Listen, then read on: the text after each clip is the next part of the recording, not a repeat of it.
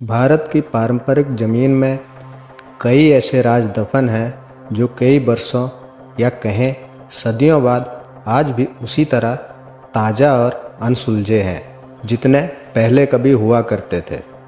ये रहस्य कुछ ऐसे हैं जिन्हें जितना सुलझाने की कोशिश होती है, ये उतना ही उलझते जाते हैं। ऐसा ही एक राज, राजस्थान के जैसलमेर ज़िले के कुलधरा गाँव में भी दफन है। यह गाँव पिछले 170 साल से वीरान पड़ा है। एक ऐसा गाँव जो रात ही रात में वीरान हो गया।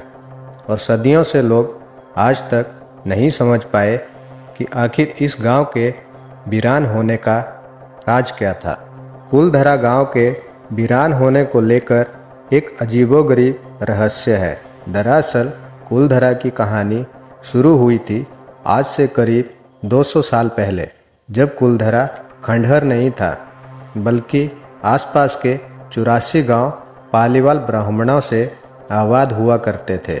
लेकिन फिर जैसे कुलधरा को किसी की बुरी नज़र लग गई, वो शख्स था रियासत का दीवान सालम सिंह अयास दीवान सालम सिंह, जिसकी गंदी नज़र गाँव की एक खूबसूरत लड़की पर पड़ गई थी। दीवान उस लड़की के पीछे इस कदर पागल था कि बस किसी तरह से उसे पा लेना चाहता था। उसने इसके लिए ब्राह्मणों पर दबाव बनाना शुरू कर दिया।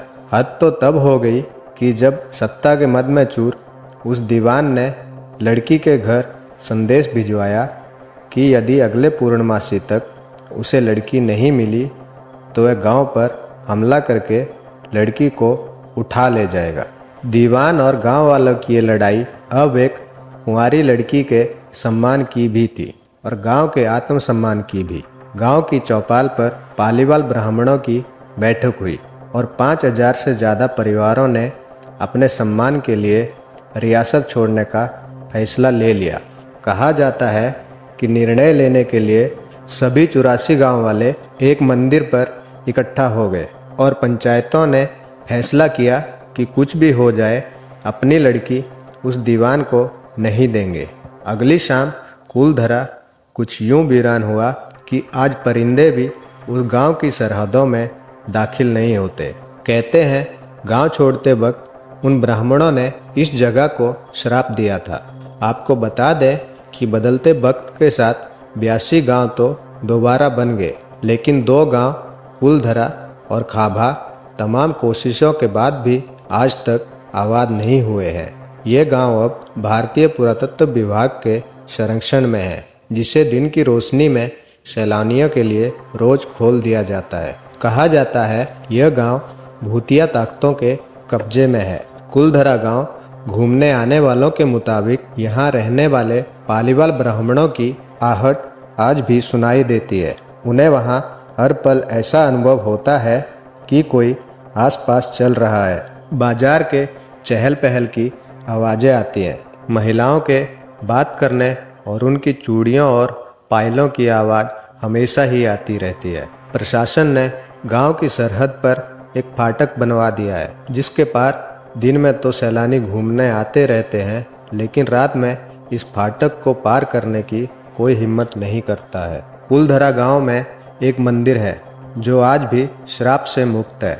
एक बावड़ी भी है, जो उस दौर में पीने के पानी का ज़रिया था। एक खामोश गलियारे में उतरती कुछ सीढ़ियाँ भी हैं। कहते हैं, शाम ढलने के बाद अक्सर यहाँ कुछ आवाज़ें सुनाई देती हैं। लोग मानते हैं कि वो आवाज़ 18वीं सदी का वो दर्द है, जिनसे पालीवाल ब्राह्मण गुजरे थे। गाँव के कुछ टूटे फूटे मकान है, जहाँ रहस्यमय परछाई अक्सर नज़रों के सामने आ जाती है। दिन की रोशनी में सब कुछ इतिहास की किसी कहानी जैसा लगता है, लेकिन शाम ढलते ही कुलधरा के दरवाजे बंद हो जाते हैं और दिखाई देता है रूहानी ताकतों का एक रहस्यमय संसार। लोग कहते हैं कि रात के वक्त यहाँ जो भी आया, वो हादसे का शिकार हो गया।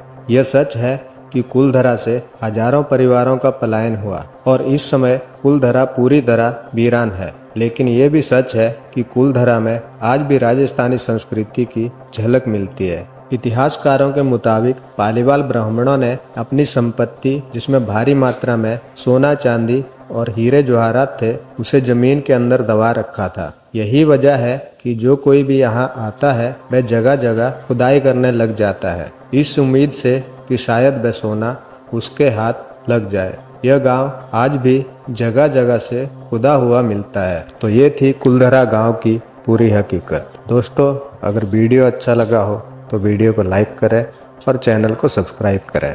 मिलते हैं अगले वीडियो में।